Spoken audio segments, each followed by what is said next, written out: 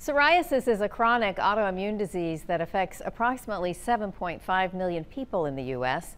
Carrie Duncan spoke with board certified dermatologist Dr. Bruce Strober and Nikita Chopra, who lives with this disease.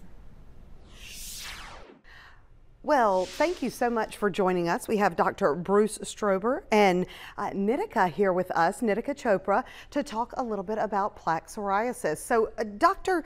Uh, Strober, we want to start with you and just give the basics to our audience. What is plaque psoriasis?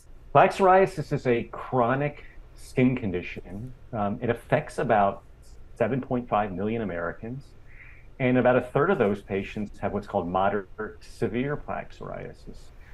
Um, it's important to note that plaque psoriasis involves scaly red or pink plaques or patches that can appear anywhere on the body scalp, arms, legs, trunk, anywhere on the body. And variably, it can be 1% of the body, it could be 80% of the body, depends on the person or the time in their life, the year, um, even you know the time of year can flare the disease or make it back up. But all patients with psoriasis will generally complain that the plaques are embarrassing. They shed scale, flakes anywhere and everywhere they go, home, work, and they can be itchy. Um, the itch can be very intractable, it can be very annoying, and they can be painful, these plaques. They can be sore. Um, so patients with psoriasis not only have the appearance, but also the symptoms of a skin condition that affects them negatively, not only at home, but also at work, affecting you know, their professional lives, their personal lives, their family lives.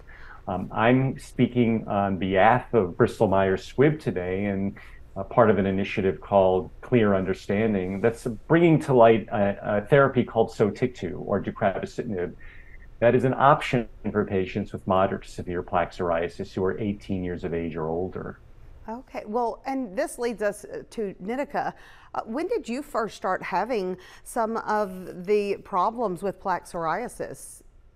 Sure, yeah. When I was actually quite young, I first saw a small spot of dry skin on my left arm and I sort of thought, oh, you know, this is a little annoying, but I didn't think much of it. And my mom ended up taking me to the dermatologist and I got a skin biopsy and the doctor did diagnose me with moderate to severe plaque psoriasis. Oh, wow. How, and I, yeah, I was going to say, how has that affected you then?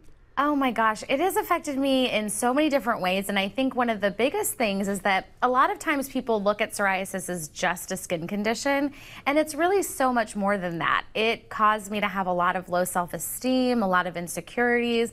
I was bullied, I was teased. It really caused me to kind of shake my self confidence, which is why I'm so honored to be a part of the Clear Understanding campaign and be here on behalf of Bristol Myers Squibb today because it is important that people know they're not alone. And those stigmas that we all face that can make us feel isolated or want to hide, it doesn't have to be that way. So they can visit clear-understanding.com to see what I'm talking about and hear from other patients going through the same thing. Well, thank you both so much for joining us and giving us this great information. Nitika and Bruce, uh, you have a great week. Thank you so much for having us. You too. Take care. Thank you.